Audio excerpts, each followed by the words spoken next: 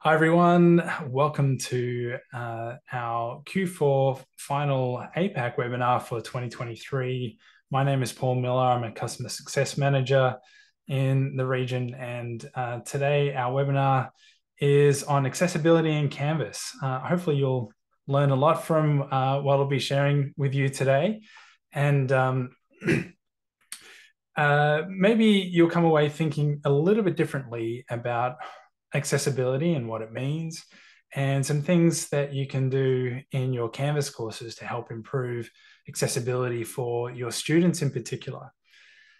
So, first of all, I just want to start off with a bit of a poll and just get a bit of a gauge of the types of people we have in the webinar today. Uh, if you can just select what type of organization you're from, just so we can have a bit of an idea of our audience.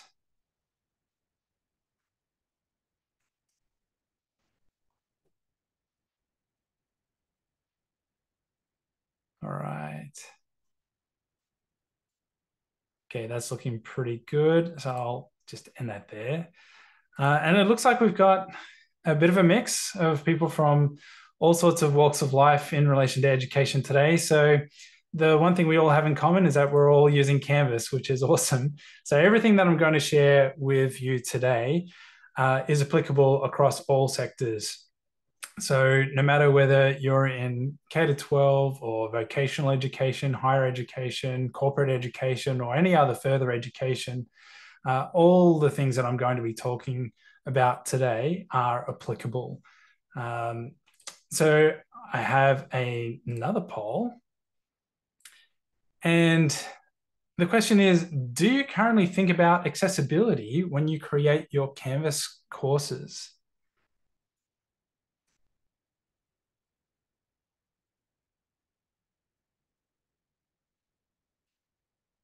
Well, it's very, very interesting as the results are coming through, just to see a bit of a mix there. Okay, I think that's pretty good. I'll share those results. And I'm glad that quite a few of you do think about accessibility. Um, that's that's really really awesome. Uh, so hopefully I'll be able to give you a couple of pointers on some extra things you might want to consider. But there are some people who sometimes think about accessibility, and uh, some of you who are not quite thinking about it at this stage but that's great. So let's let's dive into what it actually is. What is accessibility? And there's a really good description by, uh, excuse me, by Martin LeGros, who uh, says information and communication technology is considered accessible if it can be used as effectively by people with disabilities as it can by those without. So comparable access to information must be provided, taking the needs of all users and learners into account. True accessibility provides for not just the sightless and the hearing impaired, but also for the colorblind, those prone to seizures, and people with physical limitations that require keyboard navigation rather than the use of a mouse. Now, I'm actually going to be talking about uh, ideas and thoughts on accessibility that extend beyond what Martin has said there on the screen as I go through the presentation today. So keep an open mind as to what accessibility means beyond what is on the screen just there. But sometimes people get a little bit confused between accessibility and accommodation. Now, accessibility is, and catering for accessibility is, uh, it's the responsibility of everyone who creates course content, uh, whether it's Canvas or any other learning management system that's online or any system online, I should say. So, any website uh, or any software as a service. And it provides, uh, in the case of a learning management system, is provided for all students with no expectation of an explanation of need. So, it's expected for disabilities that are easily anticipated. Now, accommodation is where you're providing for very specific needs of a student with a, a documented disability. Uh, I know in New South Wales, where I live, Uh, there have been reports in the past about people who've had accommodations for their high school certificate exams um, due to all sorts of things, um, uh, things that that are sometimes visible and things that aren't visible to other people. Um, I'm going to be talking about that in a second as well, but. Uh, you know, accommodations are where you actually have to provide specific accommodations for the specific needs of a specific student.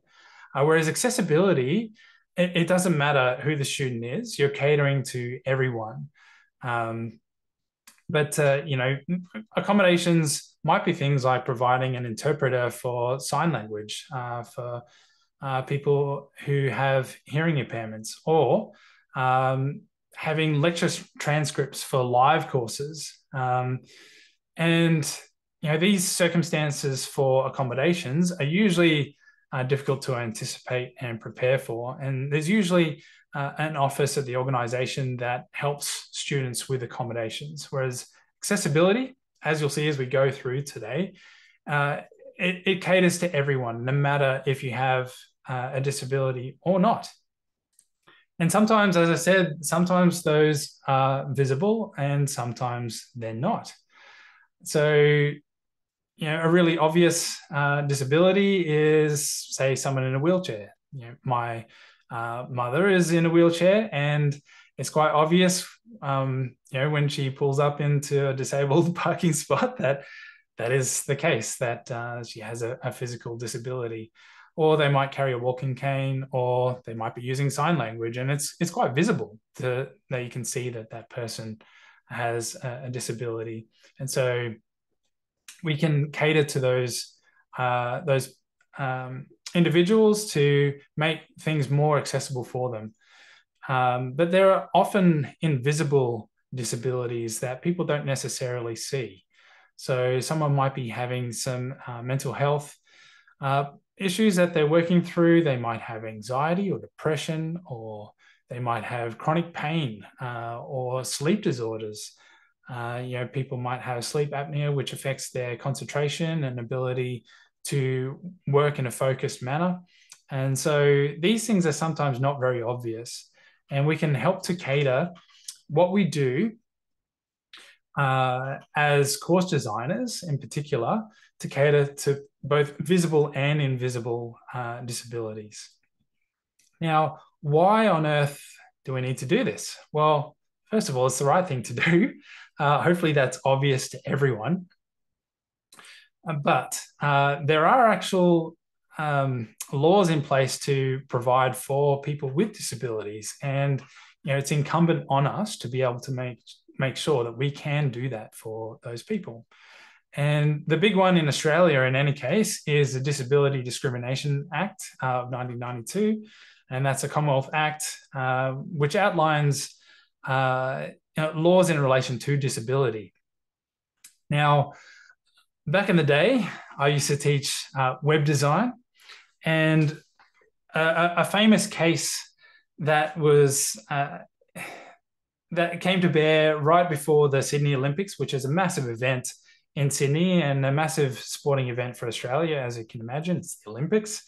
Uh, there was a case um, brought against the uh, Sydney Olympic Committee organization. Um, oh, sorry, sorry, Sydney Olympic Committee uh, for the Olympic Games, and the, the abbreviation is is SOCOG. Uh, and essentially, the website that SOCOG had created for the Sydney Olympic Games was not accessible. They uh, did not have items in place to make it easy for people with visual impairments, in particular, to be able to uh, navigate the site. Now, Mr. Maguire, who uh, filed the suit against SOCOG, um, he used a, a, a, braille machine to read the information on websites. And one of the things that SOCOG didn't do, which I'll get into uh, in one of the future slides I'm going to go through, is uh, alt text on their website. So it's alt text is a way of describing an image so that when it's read out by uh, you know a braille machine or whether it might be in an audio fashion using uh, other tools, you, you could actually understand what that image is and not just get a file name or something that's not easy to interpret. Uh, there were a couple of other things that they didn't do. Uh, they didn't make it easy to navigate the website, uh, and they lost, SOCOG lost. And Mr. Maguire was ordered damages um, for uh, in, in this case. Now, there is a body called the W3C, and they have um, the WCAG uh, rules for developing uh, accessible content uh, on web pages. And Canvas itself has is compliant with the the W the latest WCAG uh, guidance, and uh, we we try to keep it that way. But you, as a course designer, uh, you need to make sure that you do things within the content you add into Canvas uh, to make sure that it is accessible. Now, as you can see, I've actually got some links here on the slides that I'm sharing, and we will post the recording of this webinar up on the Canvas community. And uh, these, these links will be accessible. I'll, I'll post uh, the slides as well, so you can have a copy of this uh, to follow up if you so desire. But when we think about accessibility, it's more than just adding in uh, items on your um, on your Canvas course to make it accessible with people with a specific disability. Now, one thing that people often don't consider is accessibility when it comes to learning means also making content accessible for students outside of the classroom. So the, the definition actually it gets expanded upon when you include it for learning. Now, we've gone back to face-to-face classrooms across the world uh, after COVID and lots of lockdowns all over the place. But this is not an excuse to no longer be using a learning management system. In fact, uh, it was an opportunity for the world to realize that hey, we have these tools which are really, really useful to help students who can't make it into the classroom and also for students who are in the classroom. Now, uh, providing access to your course materials inside the learning management system for people who are there face to face and those who aren't able to make it face to face provides equity of access. And that's really, really important. There's a lot of really good reasons why people can't necessarily make it into the classroom. And this could be illness or injury, it could be uh, hospitalization. Um, they could be away for sporting events. Speaking of Olympics, they, we could have some people who are off to the Olympics and so can't actually attend face to face. People who are actually studying, um, professional um, sports people. Uh, but there's also for, for distance and remote education. So being able to provide that access. And we have a number of examples across the region where people are providing that equitable access to students, whether they're in the classroom or not. So students have access to the same materials. They have access to be able to submit their assessments. They have access to be able to do what they need to do because the course has been designed to give them all of that information and the access to submit their assignments uh, no matter where they are in the world. Now, there is a framework that, uh, well, it's used quite across the world. And we tend to, with any templates that are created or any courses that our company creates, we follow this framework. It's called Universal Design for Learning. And this is a framework for being considerate about how you design your courses so that you have uh, lots of different ways to engage students and to accommodate all sorts of styles of learners. Um, as I said, you can access this presentation after the webinar. We'll put it on, on the website and you can find out more information about UDL. That link there uh, works to go through to their website for their guidelines. But UDL provides for multiple means of engagement and I'll give some examples of this as we go through uh, today. So this is the why of learning. Also multiple means of representation, uh, which is the what of learning uh, and how that's, that's represented within your course. And then action expression. So um, this is the how of learning. So There we go. Thank you very much, Rio, for putting that in the chat. Um, one thing that we, bit of feedback, which UDL leans heavily in towards, is consistent course structure. Now, it's important that you structure your Canvas courses from course to course so that they are consistent in layout and general approach to uh, navigation throughout the course. So this reduces the cognitive load for your students and it makes learning more effective. Uh, it also encourages that collaboration between departments within an organization because if you're you've got that basic structure is similar, you can relate to each other, even though your content might be slightly different. You can have that make it easy so that students know where to go in each of their courses to be able to access their materials, where they go to submit their assignments, and keep it nice and consistent. They, they don't have to think quite so so so much about that. We did notice uh, particularly at the beginning of COVID, that there are a lot of organizations that came on really quickly uh, to Canvas. And um, for ones that uh, did not have a consistent approach, it was still a, a bit of a, an uphill battle initially. But most people realized rather quickly that having that consistency made it much, much easier for students uh, studying to be able to figure out what they needed to do within their courses. Now, I briefly mentioned navigation. Now, simplifying your navigation makes it much, much easier and again, reduces that cognitive load for students. And it's very easy to hide unnecessary navigation items within Canvas itself. Um, so when you do that, it's important to put it in a logical order. Of course, having home up the top makes a lot of sense. Um, we, uh, if you use modules, having that right near the top as well you might also have your uh, grades or marks for the students for them to be able to quickly access that as another option on your navigation. But again, try and keep that consistent between courses. And there are tools that you can use inside of Canvas to help with that. You know, you can use blueprints and you can sync the settings of courses from the blueprints to other courses. You can even use course templates inside of Canvas. And when you, whenever you create uh, a new course in uh, an account in Canvas that has a course template applied, it will apply the, the structure and the settings of that template course to that new course. So there's lots of really to cool tools that you can utilize for that. Another way to stay consistent is a feature in Canvas that a lot of people think is very much catered towards junior schools or primary schools, and that's Canvas for elementary.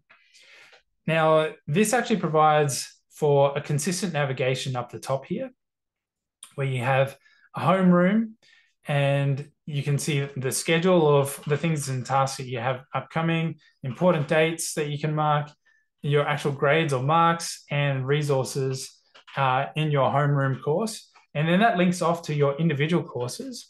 And the navigation stays consistent in those individual courses as well. So you've got your home, uh, your schedule, your modules, your grades, and resources in those courses. So you're not cluttering up the course and you're creating an environment that's a little bit more decluttered for your students to make it easier for them to navigate within Canvas itself. Now, as you can see, the font that's currently on these screenshots is our junior font, and that font is used for legibility to mimic the, the writing styles that we teach in junior schools. However, you can select to use the standard Canvas font. And we actually have organizations that are not junior schools who've turned on Canvas for elementary. And this has cleaned up their dashboard. Uh, it now becomes your homeroom. You can create a homeroom course for your students and makes this navigation within the courses much more streamlined and simplified. And you've got that standard Canvas font. Um, and uh, yeah, so it, it's not just limited to the junior schools uh, across the world. Now, one of the items I mentioned there was modules. Modules are a really effective tool for helping your courses to be more accessible to lots of different learning types and to make it a little bit more um, logical in the presentation of your data. Think of it as your scope and sequence for your content in your Canvas course. And it also gives the opportunity for you to chunk that content. Now, chunking content is really important because it makes it more manageable for students to be able to go through that content makes it easy to repeat that content, um, to go over and over it again and again, to be able to pause and go back, and easier to understand. Uh, again, it's that you can you can get that cognitive overload if you've got the scroll of death as we call it, where you have a whole heap of content all on one page and the student has to keep scrolling and scrolling and scrolling to get through it. So use those modules to chunk up your content to make it easier for that navigation. Um, there's also requirements and prerequisites. Again, this makes it really obvious for students who are going through a Canvas course to know what to do. Um, and requirements are things like you know viewing a page, uh, scoring at least a certain amount uh, in a particular assessment, or marking a particular item as done in your module. Now you can set those requirements, and the student can actually see their progress as they step through each of those requirements and see where they're up to. And the instructor can view uh, the progress of the students going through those modules to see where they're up to. Um, and yeah, that makes it much easier to see if students are falling behind and you maybe need to give them a little bit of extra assistance as well. Um, we also have prerequisites. So if you are sequencing your modules so that your course content, content follows a logical order, you can make it so that the previous module is a prerequisite for the next one and so on and so forth. Um, and that, that makes it uh, a little bit easier for your students as well because they're not jumping the gun to content that they're not quite ready for if you do need to sequence the content in that way. Iconography can help immensely with accessibility for every single type of learner. So I, I notice the chat is pretty quiet uh, feel free to jump in there and say what you think each of these icons represents if you had that in a Canvas course.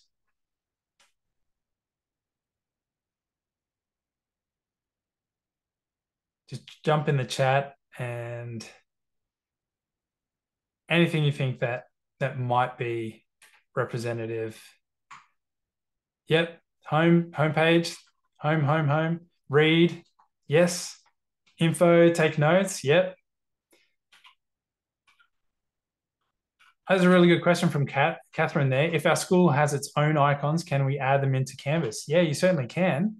In fact, uh, we actually, uh, a cool thing that you can do is add them into Commons and then people can actually mark them as their favorites in Commons and easily access, access them from the rich content editor to add it on onto their pages really easily.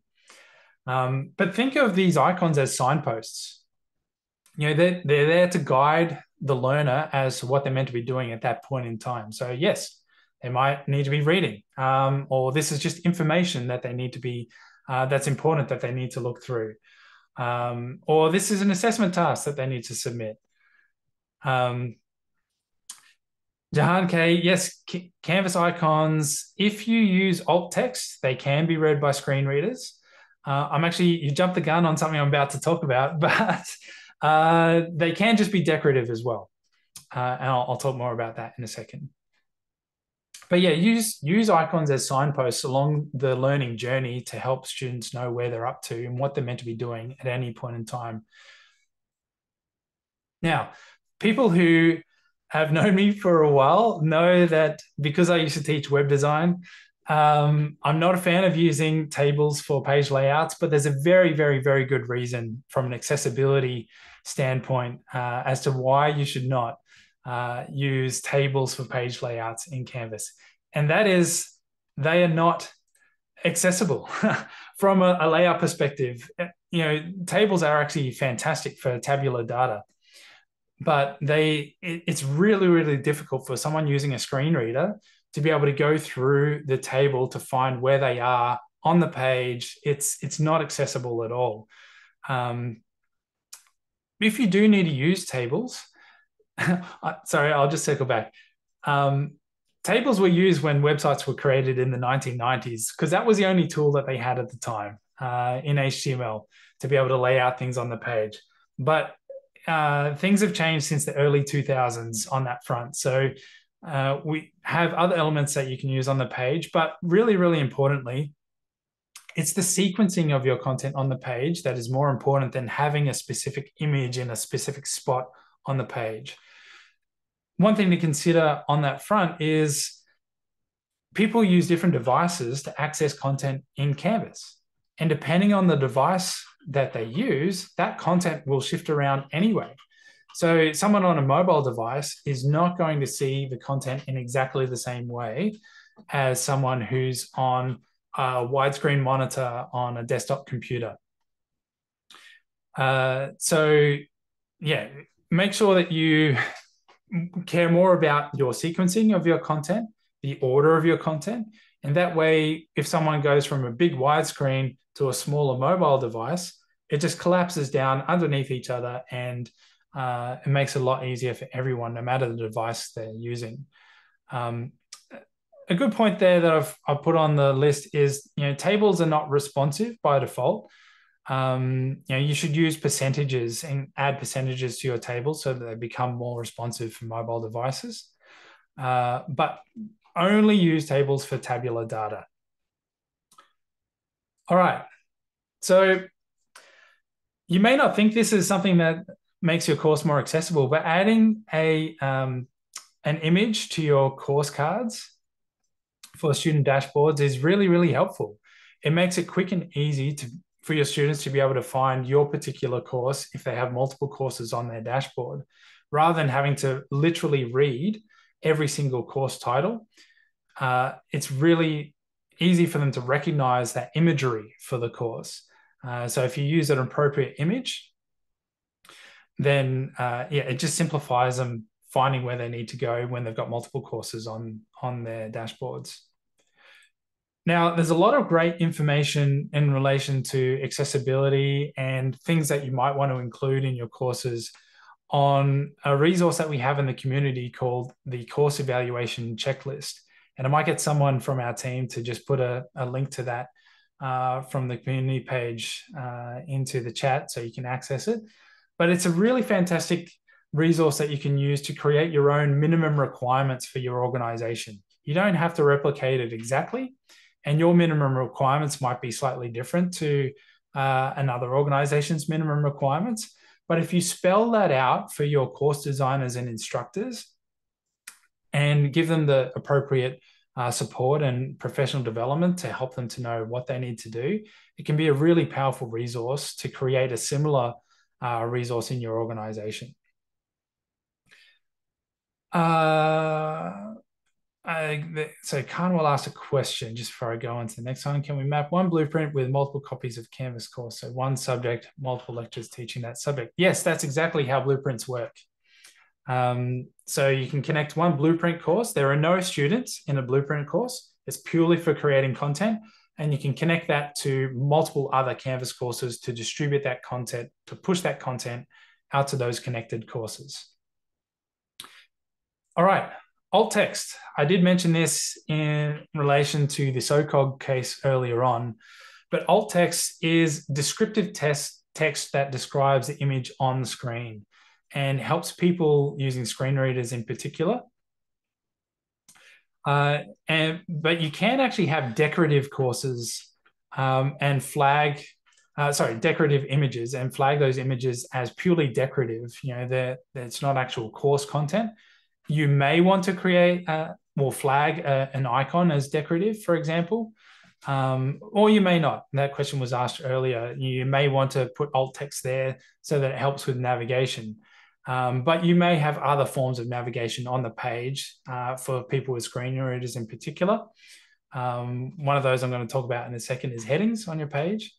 Um, but if you don't have that alt text, all you all you see on the screen reader is just the readout of the file name, and that's not really helpful, particularly if it's a really ambiguous file name, um, and you know the the user may not have it may not the file name may not be fully descriptive of what is actually on the image. So make sure you do add the alt text to your images in Canvas, which is pretty easy when it's right there when you add the image in. Uh, there are some great resources you can use for accessing royalty-free images And you know, for photography, there's Pixabay, Unsplash, and Pexels. Um, but also for icons and banners, Flaticon and Icons 8. I've used Icons 8 quite a lot. Um, but Canva for Education is also an awesome resource for creating banners and your own icons. There's you can do all sorts of stuff in there. Uh, and as we mentioned earlier, you can bring your own icons into Canvas, no problem, and just add them into your course files and use them again and again. Now, I briefly mentioned headings, uh, but also I've bundled that together with lists. So headings are a logical way of creating your content, and hopefully we're all doing this, but sometimes people use headings incorrectly. Sometimes they use the heading function to just change the size of uh, their text on the page, and that's not an appropriate use of headings. Headings provides that structure. Think of like a, a contents page where you've got the, the headings, subheadings, and sub-subheadings. So what you don't want to do with headings is go from a heading one straight to a heading three because that makes no logical sense. You got to go heading one, heading two, then heading three, uh, because heading three is under heading two. Um, so, but you also want to make sure that you use, when it's appropriate to use lists on a page, make sure you use them. Don't just put dashes or icons unless the icon is inside the list. Uh, make sure you actually use bulleted lists and numbered lists for sequential items because that's really helpful for someone using a screen reader to understand the content on the page. Now, I did mention file naming conventions. There are some terrible file naming conventions that we see sometimes. And it's really important to make sure that you give descriptive file names when you do name your files and upload them into Canvas. That can be really helpful, if, particularly if you're just adding in files as resources in your module or on a page in Canvas. Um, and if a student maybe is even downloading a file, it, if it's descriptive, that will help them to be able to find it later on on their device. Uh, so make sure you use decent file naming conventions. I love this little cartoon here because I have seen almost that exact thing on someone's computer before. so I saw that and I thought I'd add that because it's a classic and it is true. It does happen. Um, one thing to be really mindful of is colors. Now, color blindness is actually very common. So if you're referring to things by color, just be mindful that people who have color blindness may not be able to see what you're referring to, may not be able to re- interpret the data on the page or uh, you know make sense of what you're trying to convey in your content. So just be mindful when you do use colors that you're not reliant on the color itself to convey information on the page. Now, for example, in this one, if someone was colorblind and um, I said, how many uh, red uh, slats are on this abacus? Uh, sorry, how many, uh, what are they called? Little baubles, I guess, are on this abacus, then they would have difficulty answering answering that question.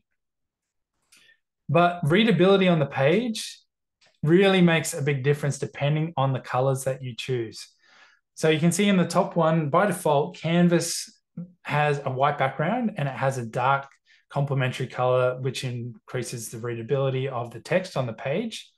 Um, but also the reverse is true. So if you've got a dark background with a light colored font or light colored text, that can reduce eye strain. And that's more like having a, a dark mode or you know night mode on your phone. Um, but if you've got light text on the light background, I don't know if you can read that really well, but it's really difficult because the contrast is so low. It's really difficult to read that third uh, point there. Um, and that last one, certain color combinations are really difficult to read, you know, particularly the the red on green or green on brown or uh, blue on purple. Like trying to to distinguish those colors makes it really hard. Uh, okay. So I'm just going to stop there. Mitchell asked a question in the Q&A. So feel free to ask questions in the Q&A uh, if you'd like as well. Uh, so if we use H1 in the RCE, how does this affect the screen reader when you'd think that would be the main heading for the page? Actually, the page title is an H1, uh, just for your information. Uh, and so, uh, yeah, that is actually the, the, H1 on the page. I, actually, I can't remember off the top of my head if you can select H1 uh, in the rich content editor or not. But uh, the, the title of the page is actually an H1 uh, when you create a page in Canvas. There you go. Thanks, Daniela. It is H2. That's what I thought.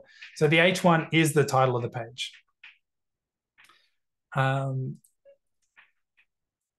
all right. So, and oh, there's a question in relation to dark mode. Dark mode is available in the Canvas apps. So it's not on by default for the content inside of Canvas, but um, you can actually select it within the mobile applications. All right. So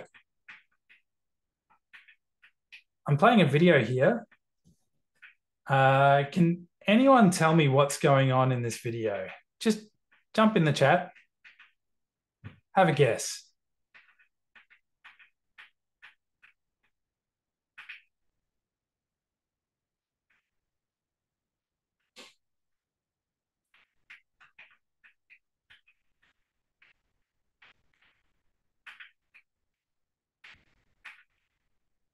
It is a balance exercise. I did actually say it at the very beginning. but what is the lady in the in the um, on the right? What is she saying to the lady who's doing the walking? She's not facing the camera, so you can't really see her lips. You can't even do lip reading if you're good at that. But you have no idea what is going on if you had no audio like we had just then. Um, and so video captions are really, really useful. Uh, make sure that you use captions wherever possible if you include videos in your Canvas course content.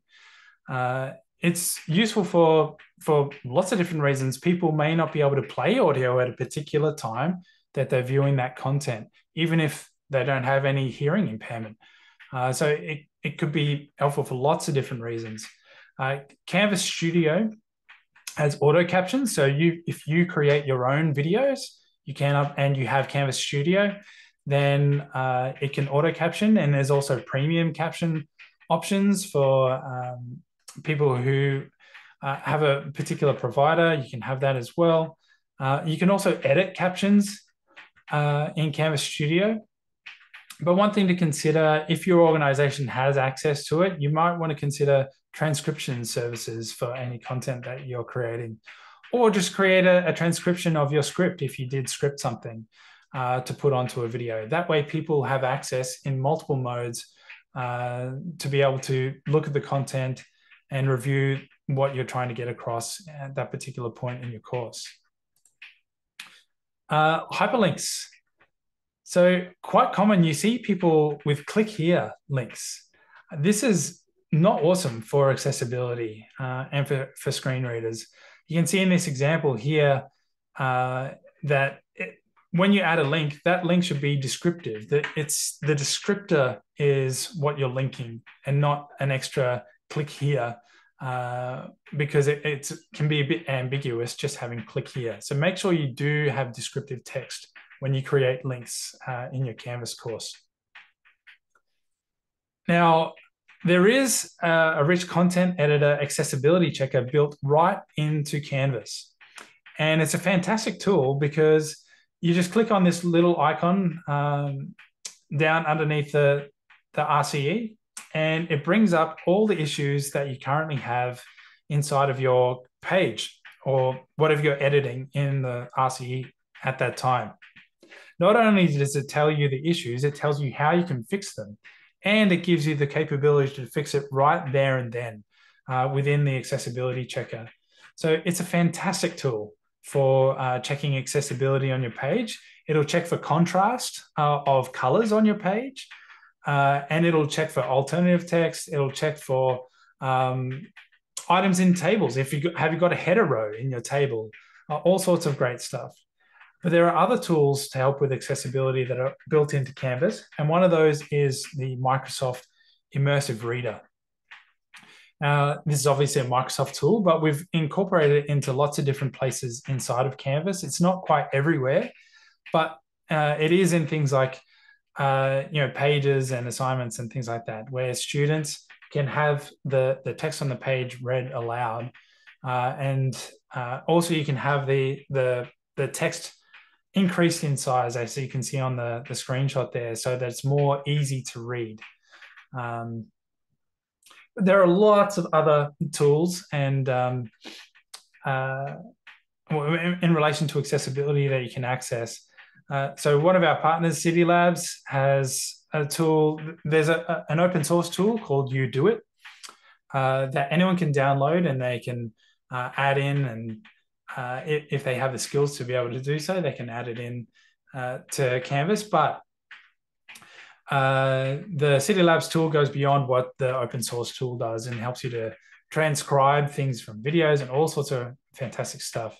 Um, Ally is a uh, another accessibility checker tool that you can install. It's an LTI tool that you can add into your Canvas instance. But there are also free tools uh, like the Google Screen Reader Chrome extension. Uh, so if you use Chrome, which uh, from our statistics, the majority of people using Canvas use Chrome, there is an extension you can add to Chrome for desktop for uh, for a screen reader, but there are industry standard screen readers that people use, um, like JAWS. JAWS is probably the most common one by far that we see people use at, for screen readers, and so you might offer links to these screen readers for your students so that they can download them and use them on their on their devices. Uh, so JAWS is a Windows uh, screen reader, VoiceOver for Mac, uh, is available for Macs. NVDA is another screen reader. Um, and I did want to do a shout out. There's a really fantastic resource from uh, the University of Sydney that I've linked to there, uh, where they've got all sorts of great videos and information on designing for accessibility in Canvas. Um, so, University of Sydney has been using Canvas for a number of years now, and uh, the guide is, is really excellent. So Rio's helpfully added links there uh, to uh, the things that I've just talked about. But uh, there are lots of other tools that I haven't added on here and lots of other items that you can do uh, that are probably beyond the scope of uh, what we're covering in this webinar. But um, that's they're the main points we wanted to cover off today. Thank you so much for attending the webinar today. And before we finish up, I just wanted to check if there were any questions anyone had that we hadn't covered yet or any other items that um, you'd want to talk about. Feel free to add it into the Q&A or into the chat. And uh, if not, we'll finish up.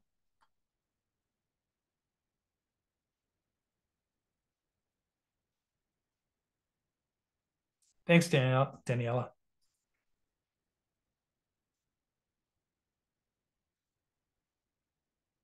Thanks, Catherine. Thanks, Nikki.